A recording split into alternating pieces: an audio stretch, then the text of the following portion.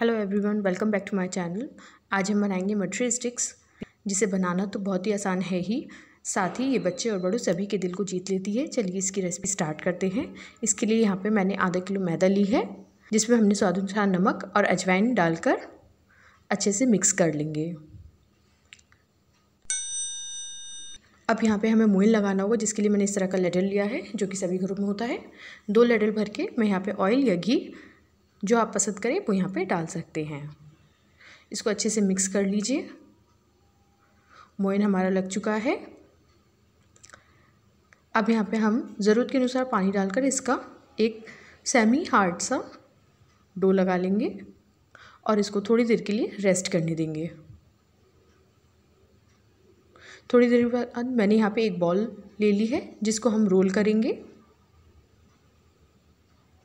इसकी थिकनेस आप देख ही सकते हैं। अब मैंने यहाँ के कॉर्नर्स इसके निकाल दिए हैं और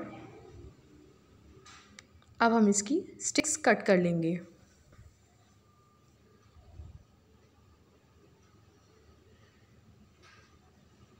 मैंने यहाँ पे पिज़्ज़ा कटर यूज़ करा है, आप इसकी जगह नाइफ़ भी यूज़ कर सकते हैं। इस तरह से हमारी स्टिक्स बन के तैयार है। अब इन्हें सीधा सीधा ही निकालिएगा।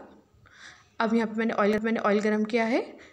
यहाँ पे हमें सेकते टाइम इस बात का पूरा ध्यान रखना है कि जो हमारी स्टिक्स हैं, वो सीधी ही डले, तभी वो सीधी सिकेंगी और ये बहुत ही जल्दी सीख जाती है, इसमें बहुत ही कम टाइम लगता है। ये देखिए, ये सीख चुकी हैं, अब हम इसको निकाल लेंगे। बहुत ही खस्ता करारा और बहुत ही नर्म है।